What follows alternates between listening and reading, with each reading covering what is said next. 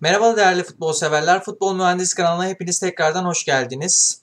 Ee, bugün yine dop doluyuz e, değerli futbol severler. Ee, üç ayrı karşılaşmayı güzel bir şekilde, ayrıntılı bir şekilde tekrardan değerlendireceğim değerli futbol severler. Hele ki dün akşamki maç ve en önemlisi e, dediğimiz gibi bildiğiniz üzere olağanüstü bir maç vardı. Yani Premier Lig tadında bir maç diyebiliriz. Aynı İngiltere Ligi'nin koşulları altında oynanan bir maç gibiydi. Fenerbahçe Karagümrük. Ve ayrıyetten de bildiğiniz üzere Giresunspor Beşiktaş maçlarını detaylı bir şekilde analiz edeceğim değerli futbol severler. Şimdi öncelikle e, dün akşamki maçtan başlayalım. Trabzonspor Kasımpaşa. Şimdi değerli futbol severler. Trabzonspor e, bildiğiniz üzere geçen yılın e, şampiyon olan bir takım. Ben e, oyun planı bakımından daha farklı bir yapı beklerken Trabzonspor üzerinde e, bu böyle şekilde olacağını, bu şekilde bu hallere geleceğini hiç düşünmedim. Şimdi şöyle de bir algı var. E, konuyu bir derinlemesine açarsak. Bizim takımlarımız genelde iki kulvarda e, gidebilmeyi beceremiyorlar. Maalesef bu bir gerçek. Yani hem Avrupa kulvarı hem de lig kulvarında iki adımlı e, fikstürlü oyunlarda bizim takımlarımız maalesef bu işi yeterli olarak e, gerçekleştirmiyor. Neden derseniz hem oyun istikrarı bakımından hem oyuncuların formsuzluk durumları, form durumları, işte e, sakatlık ve vesaire vesaire hani gibi durumlarda maalesef takımlarımızda büyük bir sıkıntılar, çalkantılı döneme denk geliniyor. Şimdi Trabzonspor bunlardan bu sene çok dert yanan bir takım kimliğinde. Konuyu daha da derinlemesine açacaksak şimdi bir kere transfer döneminde bence en büyük yanlışlıklar kan kaybedilmesiyle başladı. Vakayeme ve Cornelius gibi iki tane en önemli oyuncunun kaybedilmesi Trabzonspor'un e, bu seviyeye gelmesine sebebiyet verdi. İkinci bir kelime, ikinci bir konu başlığı da şöyle diyebiliriz. Abdullah Avcı geçen seneden çok formsuz. Yani geçen sene oyunu okumada büyük bir e, başarılı sonuçlar alırken şimdi oyunsal anlamda e, yapmış olduğu tercihler gerçekten takımın daha da çok geriye gitmesine nedeni sebep oluyor. Üçüncü bir e, durumda e, şöyle söylemek isterim. E, taraftar geçen sene takımla çok büyük iç içe bir durumda e, teşkil ediyordu. Yani taraftar takıma itici bir güç olup destekleyen kıvamındaydı. Bu sene de tabii dediğim gibi e, çalkantılı dönemlerde bir ileri iki geri iki ileri bir geri gibi durumlarda tabii ki de taraftar da artık yavaş yavaş sinirlenmeye moralman da yavaş yavaş e, yerlere dip seviyeye inmeye başladı ama e, bunu yapmaması gerektiğini düşünüyorum. Çünkü Trabzonspor dediğim gibi Türkiye'nin en önemli takımlarından bir tanesi. Dört büyüklerin de e, e, en önemli takımlarından bir tanesi. Anadolu ihtilalini gerçekleşmiş bir takımlardan bir tanesi ve taraftarı Trabzonspor'un her zaman dediğimiz üzere itici bir gücü. Şimdi bu koşullar altında e, baktığımızda lig tablosunda evet belki Trabzonspor dediğim gibi 7. sırada 17 puanı var ama liderle arasında puan farkı sadece 1. Yani kapanmayacak da bir şey değildir yani ama biz tabii ki de burada dediğim üzere yanlışları söylemek mecburiyetindeyiz ve ben şimdi teker teker yanlışlarını söyleyeceğim. Şimdi dün akşam maçta baktığımızda gerçekten oyun anlamında da, skor anlamında da gerçekten keyifsiz, tatsız bir maçtı. Bunda tabii ki de Kasımpaşa'nın da dediğim gibi çok fazla kontra hata yatkın olup ayrıyetten de alanları defansif alanlarda kendini çok fazla çizgilere gelip kapatması. Yani bazı pozisyonlarda baktığımda beşli savunmaya geçmesi, bazı pozisyonlarda iyice tıkanması, hani direkt kontra atak düşünmesi tabii ki de maçı bu şekle getirdi diyebiliriz. Ama Trabzonspor'da şimdi ben kadroyu saydığımda Uğurcan, Lersen, Bartra, Vitor Hugo, Eren, Siyopi, Samşik, Yusuf Yazıcı, Bakasetas, Trezeguet, Maxi Gomez. Bu oyunda eğer Trabzonspor eğer bu şekilde devam ederse çok fazla kayıplar yaşayabilir. Abdullah Avcı'nın dediğim gibi olumlu anlamda yapmış olduğu en başarılı gelişme neydi dediğim gibi geçen haftalarda da söylüyordum. Siopis ve Hamşik uyunumu yakalamasıydı. Bu, bu anlamda olumlu bir gelişme. Dediğim gibi hocayı eleştireceksek eleştireceğiz ama e, olumlu anlamda da çok fazla da artılar da var mı derseniz var. Mesela Siopis Hamşik uyumunu tekrardan yakaladı. O anlamda başarılı bir gelişme. İkinci bir hatayı söyleyeyim şimdi eleştirisel açıdan konuşmak gerekirse. Yusuf Yazıcı kanat orijinli bir oyuncusu olamaz. Ben bunu söylerim. Milli takımda da denendi olmadı. Ee, eskiden Trabzonspor döneminde de bazı maçlarda biliyorsunuz kanatta da deneniyordu yine olmadı. O zaman maalesef olmayacak doğaya amin etmek gibi bir daha aynı yerlerde oyuncuyu aynı bölgelerde oynatmakta bir ısrar var, hata var. Burayı düzeltmesi gerektiğini düşünenlerdenim. Ee, Yusuf Yazıcı'dan Visca rolü asla beklenmemeli. Visca'nın oynadığı kanatta Yusuf Yazıcı'yı oynatmanız akıl kârı bir fikir değil. Hele ki Trezeguet bal yapmayan dediğim gibi bir arı kıvamında. Hiçbir zaman dediği gibi çalışmasına bir şey yok. Gayretine belki bir şey demiyorum ama üretkenlik anlamında sizi taşıyacak, hücumsal anlamda taşıyacak üretkenlik anlamında büyük bir sorunlar var. Buralarda bir kere kopukluklar var. Maxi Gomez ben şunu söylemek isterim. Yani Trabzonspor bence orada büyük bir hata yaptı diye düşünüyorum. E, Valencia'da İspanya Ligi'nde sadece 30 maçta ya da yanılmıyorsam 30 maçta sadece 6 gol 4 asist yapan bir oyuncunun Trabzonspor şartları altında gelip oynaması bence skandal bir gelişme diye düşünüyorum. Şimdi ya, yani herkes polemik oluşturmak için demiyorum ama şöyle söyleyeyim Trabzonspor ayarında bir santrafor değil Maxi Gomez. Dediğim gibi tek beğendiğim maçı French Varoş maçında aşırtarak gol atmasıydı. Başka ben Maxi Gomez'i oyun içerisinde görmedim. Geçen hafta bildiğiniz üzere Monaco maçında büyük bir hataya sebebiyet verdi. Kırmızı kartı neden oldu. 10 kişi bıraktı takımı. Trabzonspor 3-1 yenik ayrıldı. E şimdi bu maçta da bakıyoruz yokları oynuyor. Ha diyeceksiniz ki getiren adamlarda mı e, sorun var? Evet getiren adamlar da getirmiyor. Evet kanattaki adamlar Yusuf Yazıcı ile Trezeguet ile zaten evet belki de Maxi Gomez'i de bu anlamda buluşturamayabilirsiniz. Ama onu yapamıyorsanız o zaman daha farklı bir sisteme bürünmeniz lazım. Abdullah Avcı'nın burada da çok farklı çeşitliliği olması lazım. Mesela A planı tutmuyorsa B planı ya da C planı devreye sokması gerektiğini düşünüyorum. Ama bunları da gerçekleştiremiyor.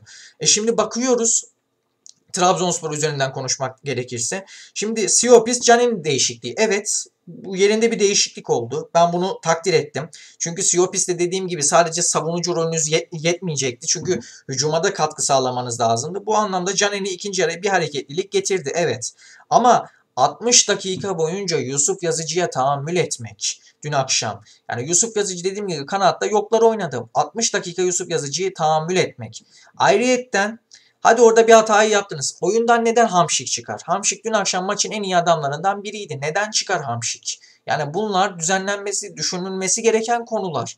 E şimdi baktığımızda Hamşik'in yerine e, Jean-Pierre Gabin ve Yusuf Yazıcı'nın yerine Umut Bozok.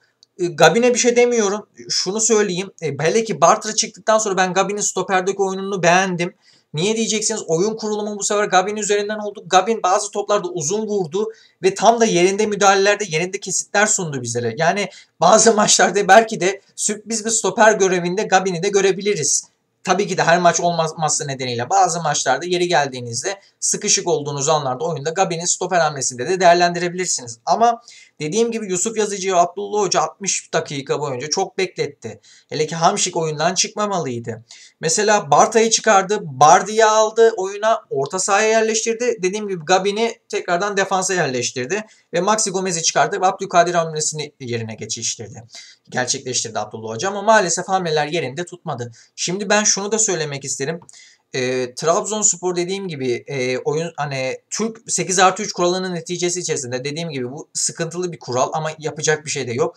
Bu kural çerçevesi içerisinde Uğurcan'dan tutun e, Yusuf Yazıcı, Eren Elmalı 3 Türk'ü biliyorsunuz oynatıyor genelde bazı maçlarda. Bu tabii ki de bazı maçlarda değişiyor. Abdülkadir Ömürler olsun işte baktığımızda Umut Bozok olsun gibi gibi gibi. Ama şunu söylemek isterim. 8 artı 3 kuralın neticesinde Trabzonspor'un da düşünmesi gereken bir konu. Evet oyuncular var ama üretkenlik anlamında 8 artı 3'lerin de tıkanmasına nedeniyet verdi. Yani 3 Türk'ü doğru yerleştirmesi açısından da Trabzonspor'un sıkıntı var. Çünkü şunu söylemek isterim. Uğurcan Çakır'a lafım yok. Zaten as bir kaleci. Ona asla bir lafım yok. Ama geriye kalan iki Türk oyuncu arasında hadi Eren Elmalı da geri geldiği kadar elinden gelen gayreti gösteriyor. Ona da bir şey demiyorum ama diğer bir Türk oyuncu açısından Trabzonspor çok büyük bir sıkıntı yaşıyor. Şimdi şunu söylemek isterim.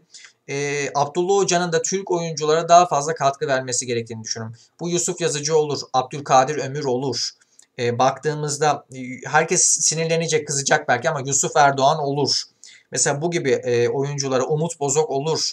Bunlara daha farklı farklı kombinasyonlarla çalıştırıp bunların da performansını yukarıya çekmesi lazım. Çünkü Türk oyuncular aidet duygusu nedeniyle daha fazla katkı sağlayarak hani takımın da gelişmesine nedeniyet verebilir. Ama baktığımızda Yusuf Yazıcı bitik. Abdülkadir Ömür eski seviyesinde değil. E, Eren Elmalı yeri geldiği kadar elinden gelen gayretini gösteriyor. Uğurcan Çakır'a lafım yok e, baktığımızda Yusuf Erdoğan yokları oynadı. Bu sene hiç yok. Zaten oynayamıyordu da yani çok fazla. E, bu bakımdan Trabzon Umut Bozok bir var bir yok. Hani bir maçta çok etkili oynuyor. Mesela dün akşam girdi bir şey yapamadı çok fazla verim anlamında. E, bu bakımdan Abdullah Hoca'nın bu Türk oyuncuları da iyi düşünmesi gerektiğini düşünüyorum. Bana sorarsanız oyunculara e, işte Abdullah Hoca'nın işte hocalığı burada çıkacak ve de formsuzluğu da göze çok çarpıyor. İşte Abdullah Avcı Hoca'nın Mesela hele ki haftaya Beşiktaş gibi zorlu bir maç var. Deplasmanda çok büyük bir zorlu maç var. İki takımın da ensesine yenilenin çok büyük bir rekabet açısından e, seviye olarak moral olarak da aşağı inmesine sebebiyet de verebilir. İşte bu bakımdan iki teknik adamın da hem Valerian İsmail'in olsun hem de Abdullah Avcı'nın olsun çok çok çok düşünmesi gerektiğini düşünüyorum bu konuları. Hani aynı bir satranç tahtasındaki hamleler yaparsınız ya aynı iki takımın da yapacağı hamleler kritik noktada belirleyici olacak. Bu bakımdan şimdi şöyle söylemek isterim.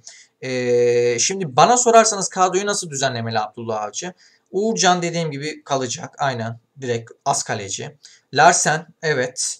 Dediğim gibi. E, defans uyumunda da sıkıntılar yaşıyor bu sene. Dün akşam hadi Bartra Hugo o kadar pek fazla görünmedi ama ben şunu söylemek isterim. E, Dansville'i koyup Dansville, Vitor Hugo tandemi yapabilirsiniz. Yeri geldiği maçlarda Dansville Bartra hamlesi de yapabilirsiniz ama ben Densi'nin de gerektiğini düşünüyorum. Çünkü Densi'siz olmuyor. Yani stoper anlamında Trabzonspor uyumu kaybetti. Yani çok fazla geçişkenlik yaşıyorlar bazı pozisyonlarda. Ya dediğim gibi klasman olarak Bartra ve Vitor Hugo'ya diyeceğim bir şey yok ama formsuzlar. Gerçekten formsuzlar. Trabzonspor seviyesinde formsuz olursanız gerçekten git geldi oyunlara şahit oluyoruz gözlerimizde. Ben oraya Dansville, Vitor Hugo hamlelerini yaparsa daha iyi olacağını düşünüyorum. Ya dediğim gibi Densil Bartra da yapabilir ama en azından Bartra Vitor Hugo uyumu çok fazla gerçekleştiremedi diye düşünüyorum. Eren Elmalı'ya da şöyle söyleyeyim çok fazla hücuma çıkıyor. Evet atak varyasyonlarını sonlandırma açısından bazı pozisyonlarda sıkıntı yaşıyor. Bunu da geliştirmesi gerek. Yani şimdi geçen sene diyorum hani e, Trabzonspor'un karayan yanası neydi? Sol bekti evet şampiyon oldu ama orada Puhas vardı. Yeteri kadar iyi bir sol bek miydi? Değildi ama idare etti. Ama Eren Elmalı'nın da sol bek çerçevesi içerisinde daha fazla katkı sağlaması lazım. Yani yetmez, seviye olarak yetmez. Bunu demeye çalışıyorum. Dediğim gibi Uğurcan Lersen, e, Dansville, Vitor Hugo, Eren Elmalı, Siyopi Samşik uyumuna da lafım yok. Gerçekten orası da tuttu. E, kanata geldiğimizde işte buralarda değişkenlik olacak. Trabzonspor'un e, sağ kanat özellikle Visca sakatlandıktan sonra buraya daha farklı bir oyuncu oynatması gerektiğini düşünüyorum. Mesela Lahdimi Faslı kanat oyuncusu. Lahdimi yetenekli bir oyuncu ama Abdullah Avcı neden değerlendirmiyor? Şimdi dün akşam diyor basın toplantısında Abdullah Avcı. Fenerbahçe'de Arda Güler, bizde Lahdimi. E, e, tamam evet doğru ama e, sen hocam geliştireceksin. Takımı geliştirecek olan sensin. Sen kadroyu belirleyecek olan sensin. Visca hamlesi sakatlandıktan sonra bittikten sonra ne olacak? Yusuf Yazıcı olmadı mı? Abdülkadir olmadı mı? E, elinde Lahdimi gibi bir adam var. Ya da Naci Ünü var gibi bir adam var. Bunları dene. Daha farklı çeşitli organizasyonlara sahip ol hiç denemede sıkıntılar var. Dediğim gibi hep aynı sabit fikirli oyunculardan gitmek hiçbir zaman elde edilen başarıyı kazandıramaz yani sizlere. Gölgelendirir. Başarınızı, başarınızı da gölgelendirir. E bu bakımdan Trabzonspor'un dediğim gibi oraya bir lahdime hamlesi yapması gerektiğini düşünüyorum. Mesela Bakasetas da dün akşam tutuktu. Yeri geldiğinde bütün topları havaya doğru attı. Yani e, o da oyunda yoktu denilebilir. Hele ki Trezeguet. Dediğim gibi Trezeguet'in de formsuz. Bir var bir yok. Kızıl Yıldız maçında çok iyi oynadı. Üst düzey oynadı. E şimdi bu maçlarda bakıyoruz maalesef seviye olarak diplerde maalesef. Hele ki Maxi Gomez. Dediğim gibi Siyopi Samşuk uyumu tamamdır. Yani dediğim gibi kadrom şöyle kafamda e, söylemek gerekirse. Uğurcan Larsen, Densville, Vitor Hugo, Eren Elmalı, Siopis Hamşik, e, baktığımızda Lahdimi, e, Lahdimi aynen, e, e, Bakasetas, e, diğer kanatta Trezeguet'in de yerine daha farklı bir oyuncu ya da Naci Ünlü var. Olabilir. E, baktığımızda Forvet'te de Umut Bozok. Yani bu çerçeve içerisinde olması gerektiğini düşünüyorum Trabzonspor. Bunun üzerine kafayı yorması, Abdullah Hoca'nın da bu formasyon üzerinde oynaması gerektiğini düşünüyorum. Bir de şunu da söyleyeyim. Taktik varyasyonlarda hep 4-2-3-1 oynuyor bütün takımlarımız. Yani burada da hata var. Bunu yapmaması lazım. A planınız sıkıştı mı devreye B planı ya da C planını aktif hale getirmelisiniz. Sadece 4-2-3-1 sistemiyle hiçbir şey olmaz diye düşünüyorum. Yani Abdullah Hoca tabii ki de en iyi bilen odur. Dediğim gibi burayı eleştirmiyorum. Sadece Abdullah Hoca'ya bir ikaz ederek söylemek isterim ki buraları daha iyi bir şekilde düzenlemesi lazım. Ee, dediğim gibi kayıp yok. Hani bir puan evet belki kayıp ama e, baktığımızda 18 puanla Adana Demir, e, işte Beşiktaş olsun bunlar 18 puanda. İşte Fenerbahçe, Galatasaray, Trabzonspor 17 puanda. Yani sadece arada seviye olarak 1 puan fark var. Daha ligin başları otomatik olarak bunlar kapanabilir ama yeter ki Trabzonspor doğru oynasın, doğru birliktelik ve uyumu yakalasın ve taraftarlarla bütünleşsin diye düşünüyorum değerli futbolcular. İşte bunlar üçü bir arada olursa o zaman tekrardan geçen seneki olduğu gibi Trabzonspor başarıdan başarıya koşacaktır ama Yeter ki Abdullah Hoca doğru organizasyon ve doğru planı sahaya yaysın diye düşünüyorum. E, Kasımpaşa'ya baktığımızda dediğim gibi e, kalecileri biraz maalesef Ertuğrul Taşkıran çok oyunu bekletti, soğuttu. O, o bakımdan biraz sıkıntı oldu ama dediğim gibi işte maalesef takımlarımız bazı pozisyonlarda yenilmiyorsan yenilme anlayışıyla, yenmiyorsan yenilme anlayışıyla e, bir puana yatıyorlar. Maalesef oyunda çok soğudu. Hakem de buna müsaade etti Hüseyin Göçek. E, dediğim gibi hakemlerimiz de maalesef oyuna uyuyorlar. Maalesef ondan olunca iki takım açısından da bir puan kaçınılmaz oldu diye düşünüyorum değerli futbol severler. Şimdi geçelim e, diğer maçımıza. Fenerbahçe Karagümrük. Şimdi şöyle söylemek isterim. Bir kere Premier Lig'inde bir maç. Tadından yenmez. Atak varyasyonlar mükemmel. Bir o kalede bir bu kalede. Bir oradayız bir buradayız pozisyonlar açısından. Yani başımızı kaşıyacak bir halimiz yok. O derecede bir maçtı değerli futbol severler. Yani gerçekten üst düzeye yakın bir maç. Şimdi baktığımızda Fenerbahçe Cesus'la beraber çok farklı organizasyonlara bürünüyor. İşte bir maç bakıyoruz dediğim gibi diğer yanlarda da söylemiştim. 4-1-3-2, 3-4-3, 3-4-2-1 e, baktığımızda e, formasyonlarla atağa çıktığınızda hücumsal anlamda atağa çıktığınızda 3 e, geride üçlü kabul edip 3-4-2-1 ya da geriye savunmaya yöneleceksiniz dörtlüye dönüş defansta. Bu gibi varyasyonları Cesus Hoca çok güzel yerinde yapan bir teknik adam. İşte çok bir kurt hoca, analizlerini de yerinde yapan bir hoca ve Türkiye Ligi'ne gelmiş geçmiş Fenerbahçe tarihinde de en başarılı hoca konumuna da geldi diye düşünüyorum değerli futbol severler. Şimdi baktığımızda Lincoln Yenike'den mesela dediler niye sol bek oynuyor? Evet orayı e, herkes e, konuşma çerçevesi içerisinde ama Lincoln'un şu özelliğini de gördüm. Oyun kurulumunda Lincoln'un sol bekten içe gelip orta sahaya yardım edip orta saha oyuncularıyla derinlik katmasını istiyor. Yani bu ne demektir? Aynı Guardiola taktiği. Guardiola'nın da mesela e, Manchester City'de Zinchenko'ya yaptığı rol, yeri geldi Joao Cancelo'ya yaptığı rolü aynı Jorge Jesus da aynı Lincoln Enike'ye yaptığı gibi orta sahaya gelip derinine oyunculara yardım edip bu İsmail olur, Ara olur ya da Crespo olur. Bu gibi oyunculara derinlik katarak orta sahayı hedef haline getirip yani kalabalık halde tutup ileriye daha fazla atak varyasyonlarını gerçekleştirmek. Temel neden bu. O yüzden Lincoln Enike'nin bu özelliğini çok beğeniyor. Tabii ki de Alioski de yapabilir. Ferdi Kadıoğlu da yapabilir. Evet. Ama Lincoln Enrique'den yapmış olduğu verim anlamında daha fazla katkı alıyor ve bu anlamda da başarılı oluyor. Bu anlamda çok olumlu bir gelişme Fenerbahçe açısından. İkinci bir gelişmeye gelecek olursak şimdi Valencia zaten uçtu. Yani Haaland'la yarışır hale geldi o derece diyorum. Valencia'nın bu rolü. Yani gerçekten Fenerbahçe seviyesine çok büyük katkı sağladı. Yani hele ki şu anlamda şu maçlarda yapmış olduğu katkı Fenerbahçe'yi dip seviyeden alt seviyelerden üst seviyelere klasman olarak getiren bir konumda büründü. Bu bakımdan da bir gelişme. Fenerbahçe sahaya bir kere topsuz oyunda çok iyi yayılıyor. Bunun nedenini söylemek istedim. Jorge Jesus topsuz oyunda aynı 2012-2013 döneminde Benfica'ya yapmış olduğu gibi Aymar, Cardozo işbirliği. Hele ki kanatlardan o zaman hatırlarsanız Maxi Pereira vardı. Ee, sol bekleri yanlış hatırlamıyorsam o zamanlar e, Al, Al, Andre Almeida'ydı. Yanlış hatırlamıyorsam sol bekleri. Bunlarda da aynı oyun kombinasyonlarını yakalamıştı. Bu seviyede de aynı Fenerbahçe'ye uygulamak istediği seviye kısmı bu şekilde devam ediyor. Bu anlamda da çok olumlu bir gelişme. Şimdi baktığımızda orta üçlüyü de iyi kurup Crespo, İrfan Can ve Emre Mor'un e, kalitesini hem teknik özelliklerine hem oyuna akıl katmalarını da iyi düşünüyor.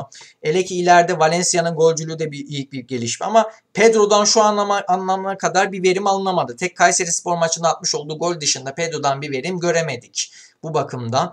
Ee, orada artık dediğim gibi Valencia Batshuayi hamlesi olacaktır. Sakatlar da iyileşecektir. E, Joshua King hamlesi de Norveçli oyuncu da gerçekten çok başarılı bir oyuncu. O da Fenerbahçe açısından seviye olarak da yukarıya taşıyacaktır. Ama Pedro'nun da kendini geliştirmesi şart. Pedro da gerçekten iyi bir santrafor ama şu ana kadar istediği elde ettiği verimi gerçekleştiremedi. Sahaya yansıtamadı. Şunu da söylemek isterim. Fenerbahçe atağa çıktıktan sonra çok fazla hücumu çok düşünüyor. Derinliğine düşünüyor. Kaptırdığı her top arka planda savunma anlamında zafiyet yaşamasına neden oluyor. Bu ne demektir? E, ileride beraber hücuma katılıyorsunuz. Çok güzel bir gelişme. 4-5 kişi hücuma çıkıyor ama kaptırdığınız her an arkada büyük sorunlar yaşıyorsunuz. İşte savunma anlamında da burada oyuncularınızın çok büyük uyum, koordinasyon, işbirliğine sahip olması lazım. Bu ne demektir? Gustavo Henrique Zalai evet topsuz oyunda çok iyiler ama toplu oyunda mesela savunma anlamında bazı pozisyonlarda sıkıntı yaşıyorlar. İşte size baskı yapıldığı anda mesela Kawasi'nin golünde iki tane stoper biri sağ tarafa ilerledi, biri sol tarafa ilerledi. İşte derinlik kayboldu ve golü yedirttiler. İşte bu anlamda sıkıntı. Hele ki ilk gol çıkışta büyük hata yapıldı. Zalai hamlede gecikti. Gustavo Henrique ile karşı karşıya kaldı Borini. Teke tek kaldılar ve Borini golü attı. İşte bu gibi anlamda dediğim gibi topsuz oyun değiller ama ikili mücadele oyunlarında bazı anlarda sıkıntı yaşıyorlar. İşte savunmanın da güçlenmesi şart. Eğer olmuyorsa o zaman daha farklı oyuncularla ya da dediğim gibi iyi bir stoper transferi de şart. Bunu da düşünmeden edemez. Çünkü Fenerbahçe'nin defansif anlamda büyük bir sorunları var değerli futbol severler. E, baktığımda yerinde değişiklikler oldu. Tam krokor bir maç oldu. Bir o kalede bir kalede dediğim gibi. Lincoln'un çıkıp Alioski'nin girmesi, Emre Mor'un çıkıp Rossi'nin girmesi de olumluydu. Yani dediğim gibi Jesus oyunu okuyan bir hoca. Her şeyi yerinde yapıyor. İşte Abdullah Avcı da Mesela dediğim gibi e, bunu Abdullah Avcı'dan bekliyoruz. Aynı Abdullah Avcı'nın aynı Jesus gibi bu oyunu okumada da büyük bir usta teknik adam olduğunu biz geçen sene gözlerimize şahit olduk. Dediğim gibi sadece Abdullah Avcı Hoca formsuz. İşte bu formsuzluğunu tekrardan gidererek o da iyi yerlere gelebilir. Ama Jesus da dediğim gibi çok büyük formda yerinde değişiklikler yaptı. Hele ki Batshuayi hamlesi. Yani hele ki o son gol Salah'ın uzun vurup Batshuayi'nin çopu çekişi ve güzel vuruşuyla gerçekten Fenerbahçe 3 puan almasını bildi. Ama şunu söylemek isterim. Karagümrük'ü de ben beğendim. Helal olsun diyorum. Yani Fenerbahçe gibi büyük takım deplasmanında 4 tane gol atmak gerçekten çok büyük bir başarı. Yani kora kor bir maç oldu. Türkiye Ligi'nin, büyük de konuşuyorum, Türkiye Ligi'nin en iyi, en kreatif, en olgun, en dolgun, en mücadele gücü üst düzey, en keyif veren bir maçına şahit olduk. Yani bunu da söylemek isterim. Çok üst düzey şahane bir organizasyondu. Fenerbahçe açısından. Jesus dediğim gibi yine böyle devam edecek. Hele ki iki kulvarda çok iyi idare ettiriyor takımını. Bir hafta oyuncular yedek, diğer hafta ilk 11'deler. İşte böyle böyle kreatif oyunculuğu sağlayarak oyuncuların form durumunu da göz ardı etmeden oyuncuların form durumunda yukarıya çekerek hele ki kondisyon seviyelerinde üst düzeye çıkartarak Fenerbahçe'nin şu ana kadar çok başarılı gitmesini sağladılar. Yeter ki dediğim gibi oyuncu uyum birlikleri sağlansın. Çünkü Fenerbahçe'nin Avrupa'da ülke puanlarına çok ihtiyacımız var.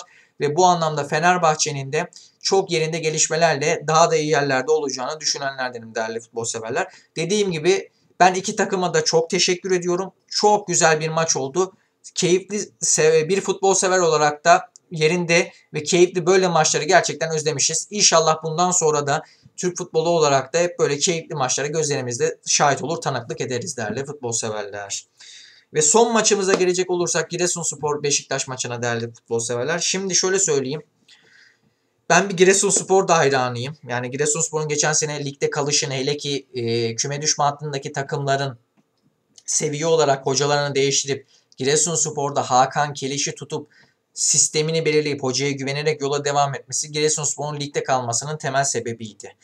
Şimdi ama bu sene o birliktelik maalesef bazı anlarda oyundan çıkamadı. Hele ki Diabate'nin Giresunspor'da olmaması geçen seneki en önemli oyuncu. Mesela Diabate biliyorsunuz o dip yukarıki seviyeyle moralman e, üst seviyeyle Partizan'a transfer oldu. E bu bakımdan baktığımızda Diabete'nin yoksunluğu Giresunspor için büyük bir sorun oldu. Yerine gelen oyuncular mesela o verimi şu ana kadar sağlayamıyorlar. Bu bir gerçek. Yani katkı anlamında şu ana kadar seviye olarak yoklar. E şimdi Beşiktaş'a bakıyorum. Şimdi Beşiktaş'ta şöyle bir algı var. Galip gelse hoca tartış oluyor. Mağlup olsa hoca tartış oluyor. Beraberlik olsa yine hoca tartışıyor. Yani asıl bütün suçlusunun günah keçisi Valerian İsmail Beşiktaş'ta. Ama hata diye düşünüyorum. Yani Şimdi şöyle söyleyeyim değerli futbol severler. Evet Giresunspor maçında ilk yarı boyunca Beşiktaş çok iyi oynadı ama ikinci yarı yokları oynadı. Evet ama bu oyunun sebebi sadece hoca mıdır? Yani bunu ben sorgulamak isterim. Evet tamam hocayı oyun okuma anlamında sorunlar yaşıyor. Oyundan müdahaleler anda geç kalıyor ve bu bakımdan da Beşiktaş'ın hani mesela oyun e, üstünlerken sizde üstünlük sağlarken üstünlük varken yediğiniz bir golle hemen Beşiktaş'ın telaşlarını puan kaybetmesini diye düşünüyorlar taraftarlar. Ama yani bütün günah keçisi kabahat Valerian İsmail'de olmadığını düşünüyorum. Yani şimdi baktığımızda. Hadi Valerian İsmail gitti diyelim. Kim gelecek mesela hoca olarak? Hadi geldi diyelim. Beşiktaş'ı üst düzeye şah mı kaldıracak? Yani bu bizdeki bu algı yüzünden yıllar boyu biz en büyük hatayı burada yaptık. Tamam evet hoca evet belki iyi değil. Bir şey demiyorum. Hani yok bilmem işte kondisyon hocası yok şöyle hocası bu ancak atletizmi çalıştırır böyle yapar böyle yapar demek de Yani futbol saygımıza da gerçekten sorunlar çıkartan bir anlayış. Yani şimdi şöyle söyleyeyim ben evet polemik yaratırım. Derim ki mesela Valerian İsmail berbat bir teknik adam. Ee, işte kondisyon antrenörü ancak atletizme önem verir. Hiç teknik taktik çalıştırmaz desem evet polemik yapmış olurum ama ol, olmamalı. Yani bizim futbol bakış açımızı gerçekten değiştirmemiz lazım. Yani onu gönderelim, onu getirelim. İki gün sonra o, o berbat oldu, onu yollayalım, onu getirelim hamleleri yani tutmuyor artık yani bu bu şekilde olmuyor. Mesela Liverpool Jurgen Klopp'a inanmayıp e, direkt bıraksaydı belki bugün ne İngiltere Premier Ligi'nde şampiyon olabilecekti ne de Şampiyonlar Ligi şampiyon olabilecekti. Yani bunları da düşünmek lazım. E ona baktığınızda mesela Guardiola Manchester City'de bir süre İngiltere Ligi'ni kazanıyor ama gel görelim Şampiyonlar Ligi'ni kazanamıyor. Şimdi örnek veriyorum başkanlara direkt diyor mu ki hemen yollayalım Guardiola'nın da Şampiyonlar Ligi'ni kazanan gedikli bir hoca getirelim başa. Yani bunu da demiyorlar. İşte biraz sabır lazım ama bizde de maalesef bu sabır çerçevesi yok. İşte bakış açımızı ben dediğim gibi baştan itibaren değiştirmemiz lazım. İşte ondan sonra değiştirmediğimiz müddetçe para adalarına yeniliriz. B'den C'ye düşeriz. Ülke futbolumuz FIFA sıralamasında 42'lere 45'lere dayanır. E biz de deriz ki nerede hata yaptık? Hep yıllardan beri aynı şeyleri konuşuyoruz. E hatalar burada. İşte sıkıntılar burada. E baktığımda şimdi Beşiktaş'ın kadrosunu gerçekten iyi bir kadro. Yani Fenerbahçe ve Galatasaray'ın seviyeleri açısından, Trabzonspor açısından da gerçekten hani Beşiktaş'ın kadrosu da aşağı kalır bir yanı yok. Gerçekten iyi bir kadro. Sadece dediğim gibi sistemde tutarsızlıklar var. Şimdi şunu konuşmak isterim. Mesela Ersin, e, Rozier, Tayyip Talha, Sais, Masuaku, Getson, Joseph, Tayfur, Dellali, Redmond ve Ghost. Şimdi baktığımda Beşiktaş'ın ilk haftalarda en önemli gelişmesi neydi hızlı oyunda? Muleka'nın gücüydü.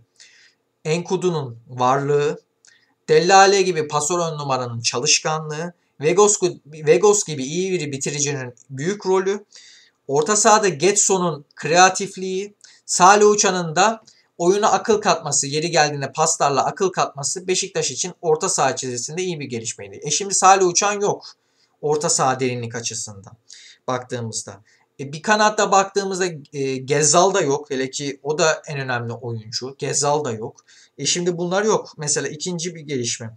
Üçüncü bir gelişme Redmond Enkudu da yok. Enkudu da yok. Onu da söylemek isterim. Enkudu da yok. E bu oyunda olmayınca bu sefer o zaman ne oluyor? Dediğim gibi takımda yeri geldi parça parça bütünlük anlamında sıkıntılar yaşanıyor. Dediğim gibi tekrardan Beşiktaş Ersin, Rozier, Tayyip Talha, Sais, Masuaku, Getson, Salih, Gezzal, e, örnek veriyorum Dellali, Muleka ya da Enkudu, Forvet'te de Vegos'u yeniden de tekrardan yerleştirdiğinde gerçekten gerçekten seviye anlamında da tekrardan yukarıya çıkacak. Sadece dediğim gibi sakat oyuncular anlamında Beşiktaş bunları yaşadığı için şu oyun 3 haftadır dalgalanmalar var geri geldiğinde. Oyunda tutarsızlıklar var. Ha ama bu demek değildir ki Beşiktaş üst düzey oynuyor. Evet oynamıyor. O bir gerçek. İşte bunları değiştirirse tekrardan Beşiktaş tekrardan iyi bir seviyeye gelecektir. Ama yok hoca işte kondisyon antrenörü şöyle böyle demek yani bir şey geliştirmez. Takımınıza destek olmanız lazım değerli Beşiktaşlılar.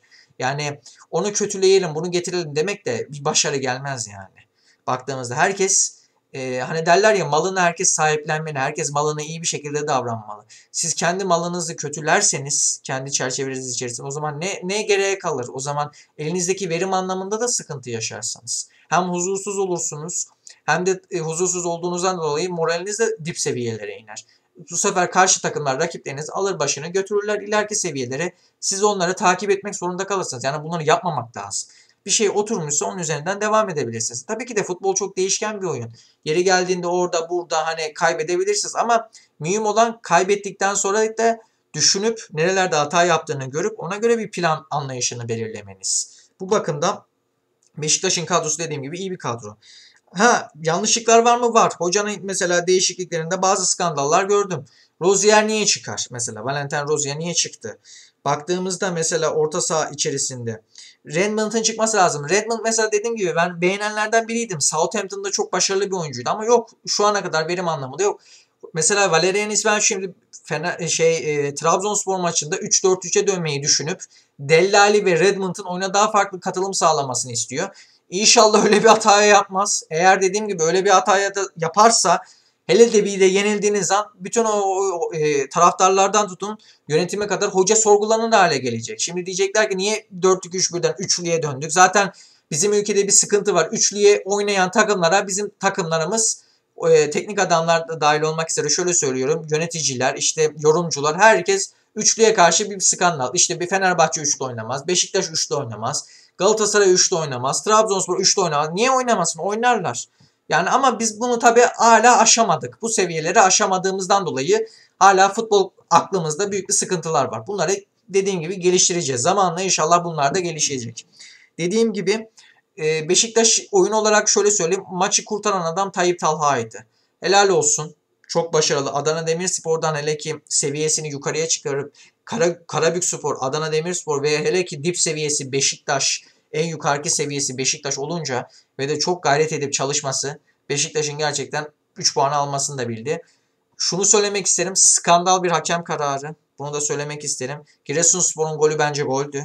O yok o elden çizildi, koldan verildi. Yok böyle oldu, pozisyon şöyle oldu değil. Orada hakem Giresunspor'un bence büyük bir hakkını yemiştir. Orada büyük bir hata yaptı. Ama yapacak bir şey yok. Dediğim gibi ben her zaman diyorum yabancı hakem getirelim. Bunlar yapay zeka, makay zeka ile alakası yok bunların. Bunların bunların kendi akıllı bir zekaya ihtiyaçları var. Bunların yapay zeka ile de bir ilişkileri yok. Bunların gerçekten oturulup takım tutmadan, takım ayırt etmeden bunların akıllı bir zekaya ihtiyaçları var. Bunlar gerçekten hani yapay zeka e, bilgisayar atayacak hakemler ona göre belirlenecek. Ben onlara öyle inanmıyorum değerli futbolcular. Yanlış anlaşılmasın ama orada da bir art niyet var. Bir hafta bir hakeme ıı, maç geliyor. Diğer hafta da aynı maça tekrardan aynı hakem atıyor. Yani bu, burada da bir tutarsızlık var. Dediğim gibi bu, buraları aşmamız lazım bizim. Yani çünkü ülkemizde güven ortamı kalmadı. Futbol konusunda hakemlerin güven ortamı kalmadı. Her yaptıkları pozisyon açısından büyük bir sorunlar teşkil ediliyor. E, bu anlamda baktığınızda ne oluyor? Sıkıntı, sorunlar daha da büyüyor. Yani sorunlar aşağıya inmesi gerekirken sorunlar daha da büyüyor. E o zaman ne olacak? Seviye olarak sıkıntıdayız. E baktığımızda dediğim gibi şimdi yazık günah değil mi yani? Beşiktaş'ın şimdi belki de galibiyetine gölge düştü.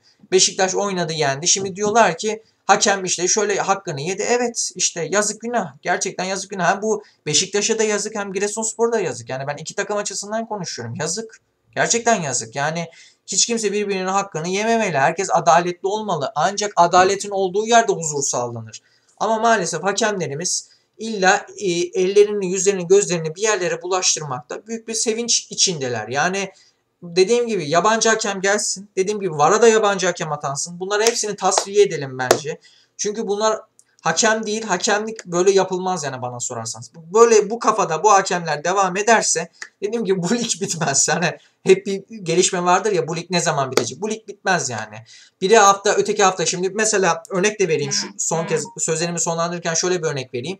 Mesela en çok penaltı çalınan takımlar örnek veriyorum. Fenerbahçe ile bilmem işte Trabzonspor'muş ya da Beşiktaş'mış. Mesela şimdi Galatasaray camiası diyor ki VAR'a gidip ne, neden mesela bizim penaltılarımız verilmiyor. Hiç bizim VAR'a gidilip verilmedi. E şimdi Galatasaray'da bu açıdan bakıyor. E öteki taraf diyor ki Beşiktaş'a verildi bana verilmedi. Fenerbahçe için konuşuyorum. Böyle yapıldı. E Trabzonspor diyor ki 3 büyük diğer takımlara verildi bana verilmedi. Yani hep bir kaos içindeyiz. Herkes birbirini kıskanma, herkes birbirinin nefret peşinde. Yani bu olmaz. Futbol mantığımız buna yerleşmemeli bana sorarsanız. İşte buraları aşarsak bence ülke futbolumuz daha iyi yerlerde olacaktır. Ha, çok daha iyi yerlerde olmayacaktır belki. Seviye olarak artık eskisi gibi böyle üst düzeylerde değiliz. Ama dediğim gibi inşallah bunları aşarsak yavaş yavaş bunları aşarsak çok daha iyi yerlerde olacağız diye düşünüyorum değerli futbol severler. Değerli futbol severler çok teşekkür ederim beni dinlediğiniz için. Ee, sözlerime son verirken e, biliyorum dediğim gibi çok güzel yayınlarımız devam ediyor. Sizler de beni e, teşkil ediyorsunuz böyle gayret ettirmeye. İnşallah daha da farklı seviyelere geleceğiz, ulaşacağız. Dediğim gibi ben her zaman pes etmeden adım adım devam edeceğim. Hedefimiz 1000 abone olsun. İnşallah e, o seviyeye gidelim. Yavaş yavaş da gidiyoruz. İnşallah daha da e, gerçekleşecek. 1000 abone olduktan sonra da daha farklı düşüncelerim var sizlere karşı. Daha farklı e, planlar belirleyeceğim. Daha farklı bir sosyal medya açısından da içerikler üretmek istiyorum. İnşallah bana desteklerle, katkılarla sunarsınız değerli futbol severler. Bir hayale tutunduk. İnşallah bu hayalin, bu hayalin parçası sizler de olun, ben de olayım. Ve daha da iyi yerlerde olalım hep beraber değerli futbol severler. Sözlerime son verirken hepinize ben teşekkür ediyorum. Lütfen kanalımı beğenip abone olmayı unutmayın da diyorum. Hepinize tekrardan iyi akşamlar diliyorum değerli futbol severler.